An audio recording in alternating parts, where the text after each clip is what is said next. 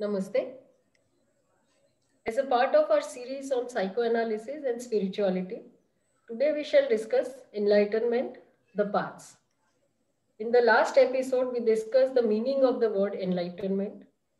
Today we shall go deeper into the various paths which lead to enlightenment. In this very esoteric journey, we have with us our psychoanalyst consultant, Mr. Himanshu Vaidya. Namaste, Himanshu. Namaste. Uh, Himanshuji, what are the broad category of paths leading to enlightenment in traditional Indian spirituality? India is a very ancient civilization. Indian civilization has been obsessed, almost infatuated with the idea of how to become enlightened. This civilization has thrown the best of its resources on this single quest Naturally, over thousands of years, the civilization has developed not one, but hundreds of tools and techniques and many approaches to attain enlightenment. These hundreds and thousands of tools and techniques and approaches can be classified in a variety of ways we can look at five classical popular classifications. The first classification is the traditional classification of the path of knowledge, the path of love or emotions, and the path of work or action. Traditionally named as the Jnana Yoga, the Bhakti Yoga, and the karma yoga. That's one way of classifying all these hundreds of paths into three categories.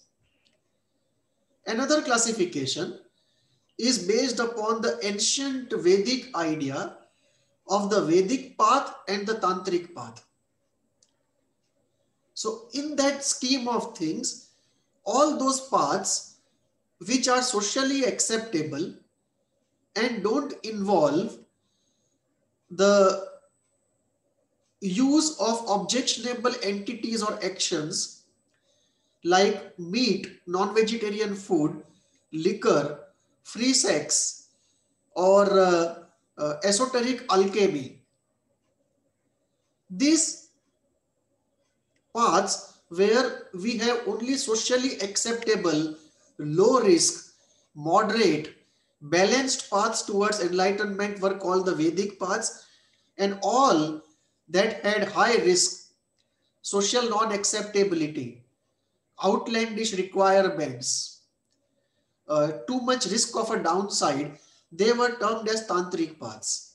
And therefore, in one ancient classification, we can see the Vedic paths and the tantric paths, all the hundreds and thousands of tools and techniques and approaches divided into two, the Vedic and the tantric.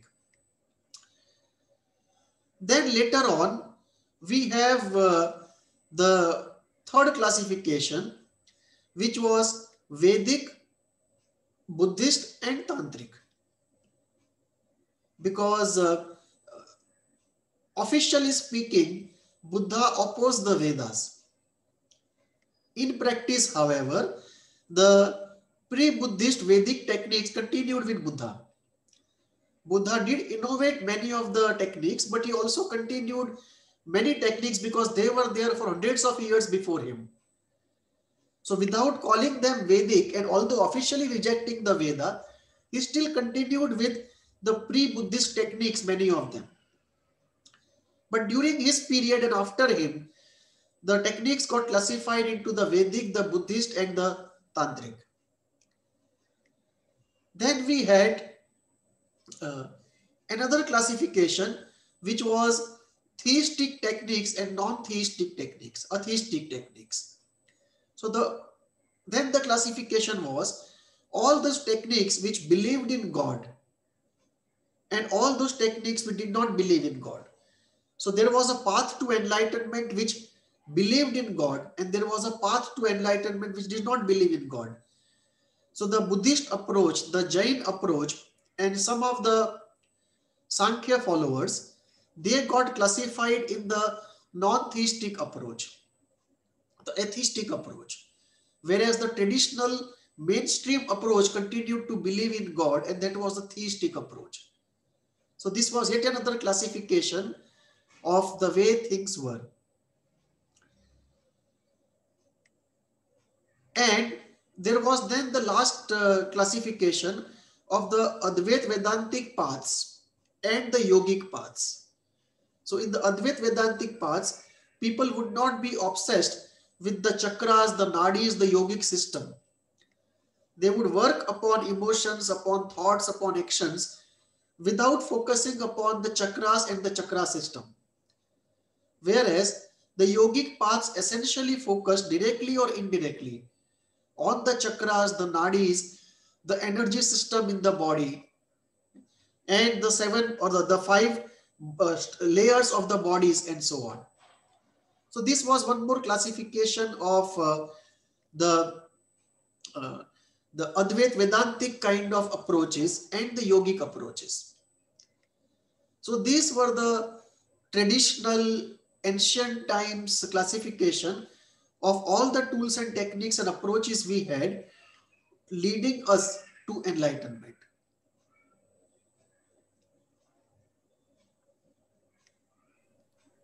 Uh, after this very good clarification of the Indian traditional uh, paths to enlightenment, uh, now what are the non-traditional paths to enlightenment uh, in Indian spirituality?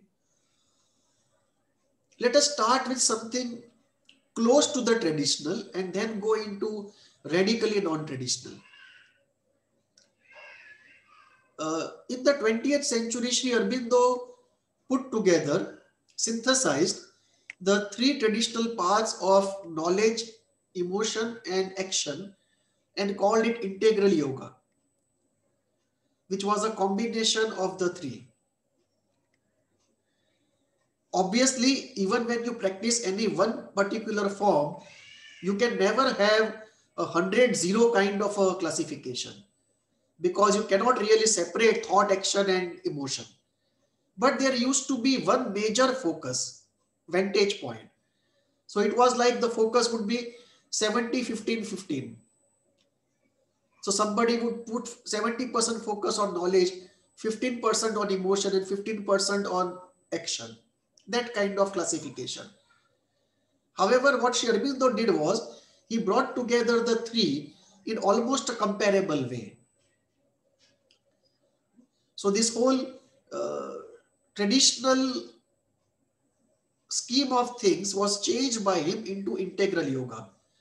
That was a 20th century uh, innovation by Sri Aurobindo. Then we have more esoteric uh, paths to enlightenment. First is the path of uh, Tantra, which uses all sorts of uh, techniques to get there, which involves idol worship, which involves yagna, which involves alchemy, and so on. It can involve uh, uh, experience of meat, liquor, sex, also, and so on. The second is the path of alchemy, where through some alchemical experimentations with certain minerals and metals, most pronounced with mercury, people used to do alchemical experimentation and then through those alchemical experimentations, try to produce states which are not normal states of consciousness.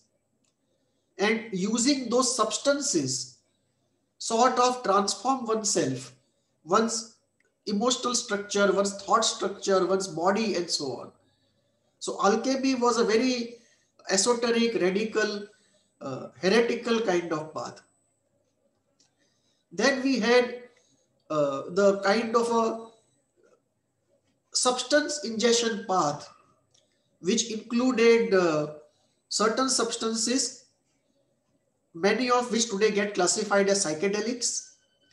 It may include cannabis, it may include marijuana, and it may, uh, it was uh, very much centered around one thing which is mentioned in the Somveda called Somras.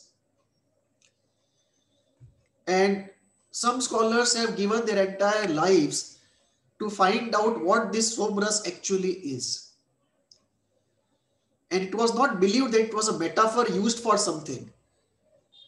It was it is believed that it was an actual substance which was ingested and the substance was used to transform one's consciousness. And that entire science is lost today of how to use those rare substances for bringing about radical transformation of consciousness. There was one claim of a particular mushroom that this is that mushrooms extract was meant indicated when they said somrasa but not many people don't believe it and in one of the recent books by Sri M we find mention of a greenish liquid which was given to him to accelerate his personal transformation. And in his opinion, that was the somrasa, which would mean that there are still some people who know what that ingestible substance actually is. So the ingestible substances to transform consciousness is another radical esoteric path to it. Then we have the path of pranic healing. The path of pranic healing also is very radical in the sense, in the pranic system, it's a full system. And in that system, one by one, all the layers of the body are taken up for transformation. Although the focus is on the energy body, but it has tools and techniques for all the bodies, the physical, the energy body, the emotional body, the mental body, and the karmic body. So it's a full system which has techniques for all the five layers. Then we have the crystal healing, which is yet another radical form of uh, healing and acceleration for enlightenment, which can help overcome the inner difficulties of desires and fears. And the outcomes of those difficulties in the form of complexes and psychological problems. So that's another radical a way of accelerating one's movement towards uh, enlightenment. Then we have the the entire range of uh, yogic methods which focus on the chakras and which have Hatha yoga, which have the pranayam, which have other forms of meditative yogas, and the entire yogic system which has its own way of accelerating one's uh, development to enlightenment. And the most consolidated form in that, of course, is Ashtanga Yoga of Patanjali. But there are many other uh, individual standalone parts and synthesis of parts also. And uh, uh, lastly, we have this uh, forgotten techniques which are used in shamanism and which are also used in certain forms of uh, tantric worship. And those forms have been completely uh, forgotten that those paths also are radical paths. There is another path of uh, transfer of consciousness where some person who has attained enlightenment is able to sort of transfer that consciousness at least to some degree for some temporary amount of time. Not may not be able to transform oneself completely, but at least give oneself a, a taste of that state for a short period of time. And that how that happens, uh, we hear all kinds of stories about it, all kinds of claims. It's difficult to say what is authentic and what is not. But one does hear from very credible people for whom we can have no doubt that there is something called a transfer of consciousness. Even if it is for a short duration, it is there.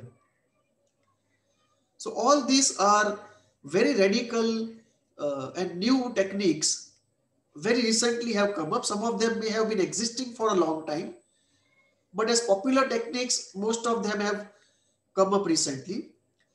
The entire technique of idol therapy or idol worship also is a very powerful technique towards enlightenment of which we have lost the science. So these would be some of the techniques that uh, I am aware of, specifically more popular in the Indian tradition. I am sure if we take a survey of South America or uh, Mediterranean regions or deep Africa, right. we would find many alternative approaches also. Right. Okay. Uh, after discussing the ancient uh, traditional paths, non-traditional paths, now we come to Osho. Right. Uh, Osho has talked about the path of yes and the path of no. Can you elaborate that? This is one more way of classifying all approaches to enlightenment. I have taken this up because it, uh, I think it's a very important concept that he has given. The path of yes and the path of no. The path of yes uses experience to overcome attachment. And the path of no runs away from experience in order to overcome attachment. So the path of yes is the path of uh, Krishna, Rama, uh, Guru Gobind Singh, that set of people.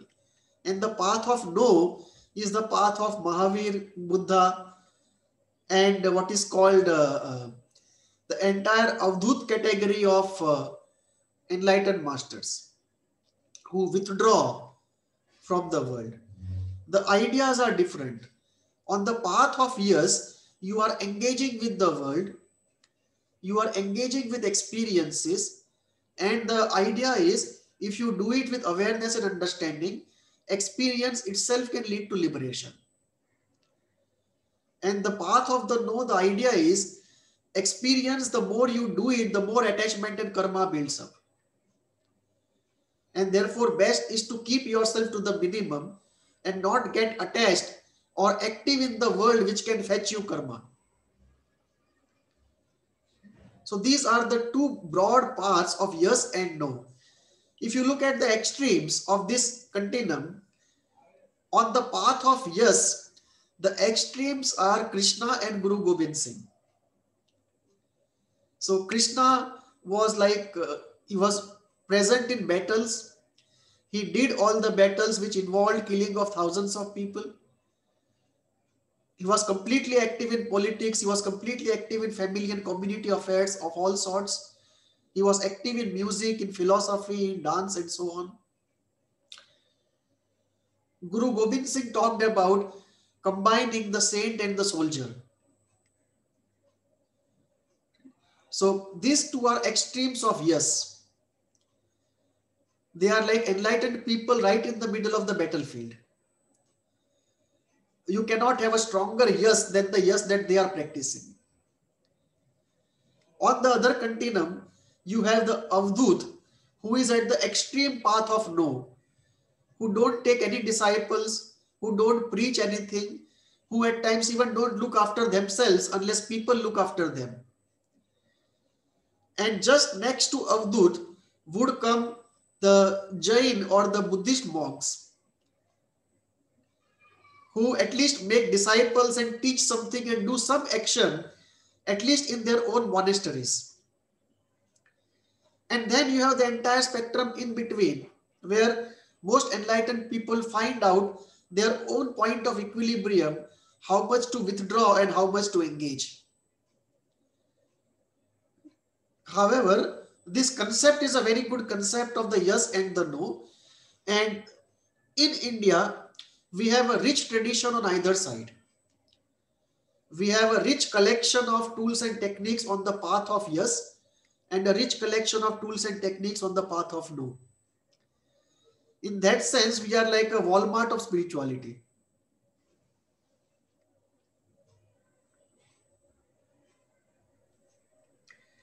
Uh, what happens in elemental process terms on any of these paths?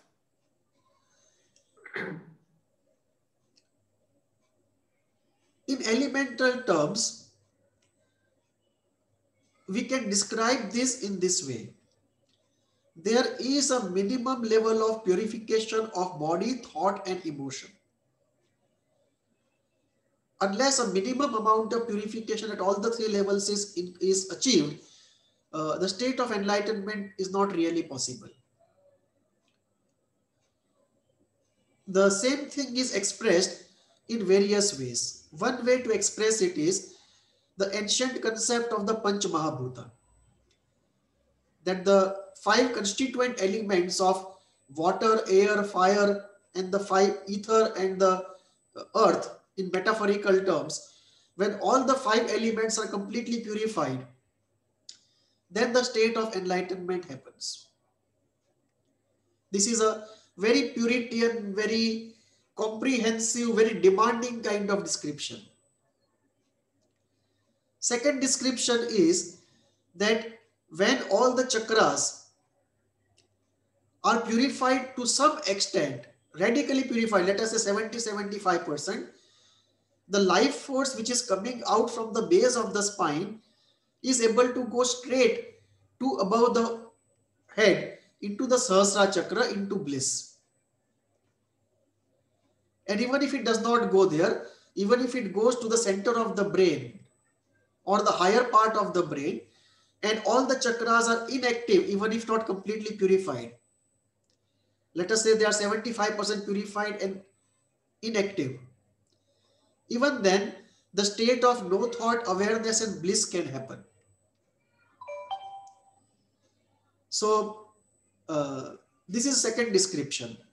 The third description is if we look at all the five bodies, the physical, the astral or the energy body, the emotional, mental, and the karmic, when all the five are purified, the state of enlightenment happens. And of course, by the state of enlightenment, people refer to various states that we discussed in the last discussion. It may be a state of no thought with awareness and bliss. It may just be a state of pure awareness without any thought, without even any bliss. It may be a state of uh, being one with the psychic inside. It may be a state of uh, nihilistic, all negating nirvana, or it may be a state of oneness with the universe. Now, the corollary of this is uh, we also see that it does not always go into absolutes. It is not that uh, all the chakras are 100% purified. In order to have enlightenment experiences, even on a stable long-term basis.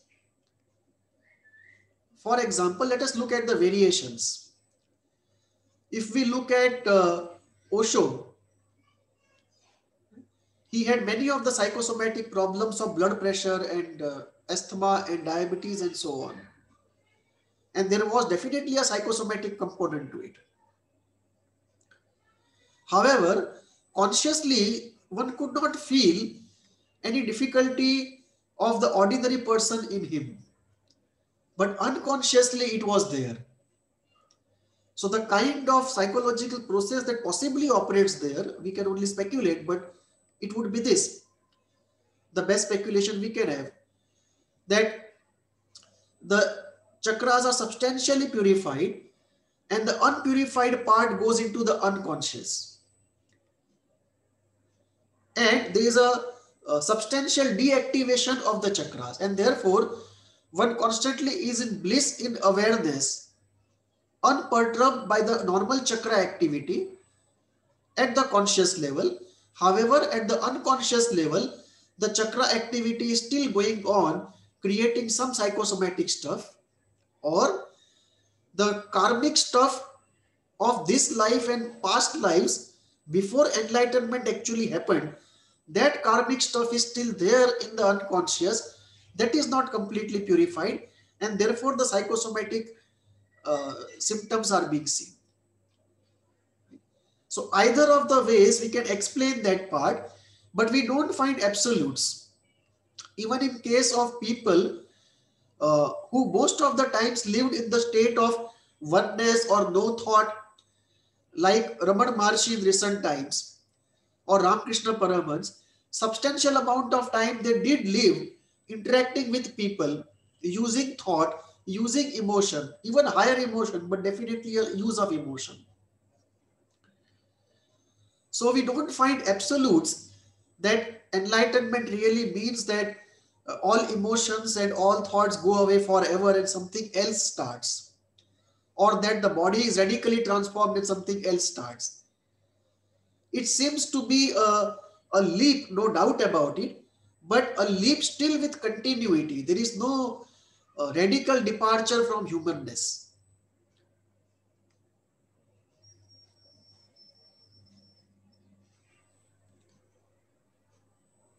Uh, we just talked about the unconscious uh, reminders about Osho and all.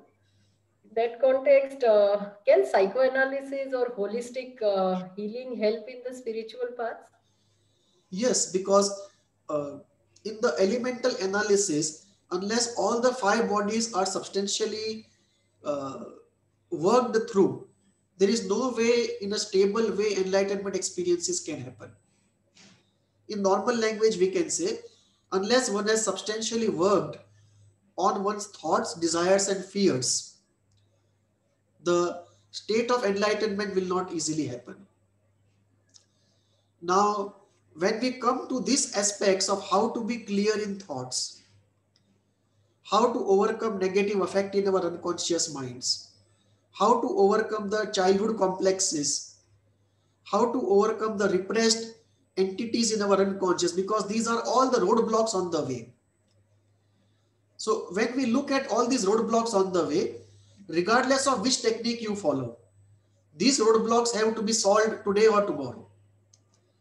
So whether you follow a Jain technique or a Buddhist technique or a tantric technique or a yogic technique or a psychoanalytic technique, ultimately there is no escape from working through one's anger, fear, pain, guilt, shame, envy, narcissism. These are universals. You may use different terms for it, you may use different approaches for it, but in elemental sense, there is no way self-transformation can happen without working through these basic elemental entities. Now, psychoanalysis and holistic healing, both of them have their own areas. Holistic healing has a wider area. Psychoanalysis is more focused. They are very good accelerators on this path. When we look at psychoanalysis, it's a very good tool for the emotional layer of the being and for clarification of thoughts. When we look at holistic healing, it deals with all the bodies. And therefore, both of them are very, very powerful tools to help us overcome the roadblocks so that one can accelerate on one's journey towards enlightenment. In fact, unfortunately, what has happened is uh, spirituality has seen all the healing techniques as something on the opposite side of the river it's almost an antagonism. I mean, they don't see each other as uh, synergetic tools or synergetic disciplines.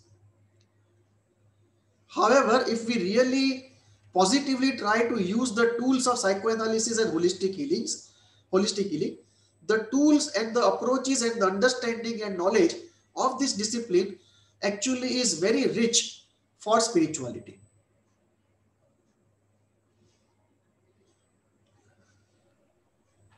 Uh, talking about the various paths, now how do you see these paths uh, evolving in the future? I see five uh, important developments on this point. The first is sharpening and radical development of each of the individual techniques we have. So the cognitive therapies that we have, the psychoanalytic therapies that we have, the pranic healing, Reiki and energy practices that we have, the crystal healing practices that we have and so on. So the first is each of these practices will develop much sharper tools and uh, much more efficient tools as we go along. That is number one. Number two, consolidation of them into a basket for an individual. We will gain more insights on for a given individual and the given state of development and this problem and the objective, how to create a basket of tools. And on this consolidation aspect and customization aspect, we should get very good insights in the next 10 to 15 years. The third, I believe, is a radical development of the pranic healing system. I feel this is a system which has very great potential for healing as well as for spirituality. And more importantly, because it is almost free of cost and can be given at a distance. Now that if we develop it well enough, it's almost a global solution to our problems. The fourth is crystals because crystals are programmable healers and they are non-human entities. So if you can program a crystal and the crystal is healing, you are free and the crystal is doing the work. Now that creates the possibility of industrial scale healing, even without healers. You need a very few healers to really program a large number of crystals. And if we develop our understanding of the way the crystals are operating in healing and create more powerful, more programmable crystals, uh, a fantasy idea can be, can we have a house made of crystal where we just go inside and sit and we come out healed from the other side? That is like a Star Wars fiction in the area of healing. But those are the kind of ideals that really have to inspire us so that we innovate on this path of understanding better the crystals and making them more efficient and effective. And uh, last is the whole forgotten knowledge of ingestibles and alchemy. Ingestibles refers to something like the Somrasa that I was referring to. The shamanic traditions even today have the knowledge in the tribal regions of ingestible substances which help you to heal or transform consciousness. Maybe for a short period of time, but still they are there we need to learn from them how that is happening so that the safety and the duration can be increased. And lastly, alchemy. The alchemical uh, uh, tradition is completely gone out. We no longer know what kind of yagna, what kind of uh, uh, puja or what kind of tantric rituals or any sort of that thing or use of mercury of minerals to transform consciousness. We don't even know how the transfer of consciousness takes place. And lastly, how do we use the modern techniques for it? We have not tried out the engineering tools that we have or the high-tech genetic engineering or IT or the drugs that we have for this particular purpose. I think we need to focus that. We don't know what will come out of it. But whole research always is based upon hope we can't start by saying nothing is going to happen. So that uh, focusing of all existing tools and techniques, the latest in technology on to the purpose of enlightenment. These are some of the developments I think we will see in the next 10, 15 years. And that should give us a much clearer and efficient idea of what enlightenment is and how to get there.